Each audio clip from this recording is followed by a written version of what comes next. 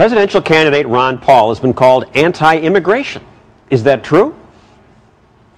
Immigration. You want a 700 mile fence between our border and Mexico? Not really. There was an immigration bill that had a fence in it, but there was um, to attack amnesty. I don't like amnesty, so I voted for that bill to stop the amnesty, but I didn't like the fence. I don't think the fence can solve a problem. I find it What, rather what offensive. should we do? Get rid of the subsidies. You subsidize illegal immigration, you get more of it. Get We- rid of welfare. Get rid of all the welfare benefits. health care for. Absolutely. So if someone's illegal and they show up at the hospital and they're injured, the hospital should do what? Be charitable and have no mandates by the federal government. Catholics want to take care of their offering to help a lot of these people. We want to punish them in some of these, you know, reform bills. I'm not for that. Um, but we wouldn't have so many there if they didn't know they were going to get amnesty. You promise them amnesty, promise them no sweat, you can get medical care and free education, automatic citizenship, uh, food stamps, and Social Security. You're going to get more of it. But I want a free and healthy, thriving economy. And I think we could be much more generous with our immigration. We don't need illegal immigration. We don't need to reward people who get in front of the line.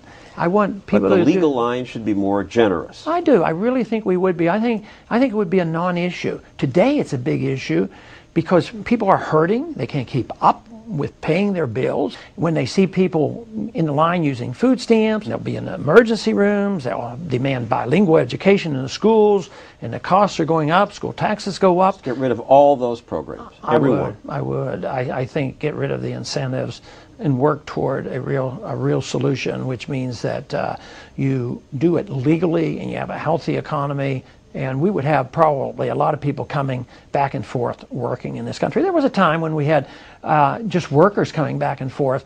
That was when they didn't expect to get easy amnesty. And you want to get rid of the birthright law that says that an illegal immigrant who gives birth in America, the child is a U.S. citizen. Yes, I think there's confusion on interpreting the 14th Amendment. It, it says that if uh, you're under the jurisdiction of the United States, you have a right to citizenship if you're born here. All right, so you say this is good, but that's in there. Uh, yes, but it's a little bit confusing. If you if you step over the border and you're illegal, are you really under the jurisdiction? There's a question on that, and I want to clarify it. What about the millions who are here illegally already? Deport them? I, I don't think anybody could find them. I don't think anybody knows where they are. I, I don't think if you had a million man army, I don't. Nobody even knows how many there are. But if they come for welfare benefits and you know they're illegal, yes, uh, deny them the benefits. And uh, they commit a crime, send them home when you know they're there. Today, in many cities, you're not even allowed to ask them their uh, immigrant status. You know, it might be on the form. Policemen told me, don't ask that question. They were told they can't ask that question to find out if they're illegal. And they've been breaking the law, they're arrested. But it's, it's uh, politically incorrect to ask a person uh, their immigrant status because uh, that would say, well, if you're broken the law, maybe you ought to go home.